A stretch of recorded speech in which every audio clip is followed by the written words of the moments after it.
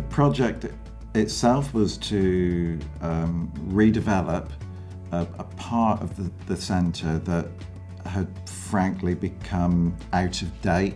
So the idea was to, to sort of reinvigorate that area, and, and so that's really how Queen Street dining evolved.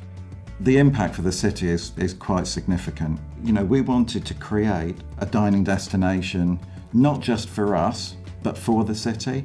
And I think that all the feedback that, that we've had so far and the extended reach that we're getting into the region in terms of diverting customers that might have gone elsewhere, they now come to Exeter because we actually have a dining quarter, which we never had before.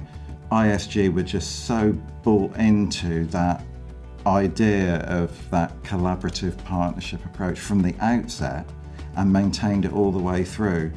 Part of that was the recruitment of the construction team. They were very, very selective about the individuals that, that we had working here on site.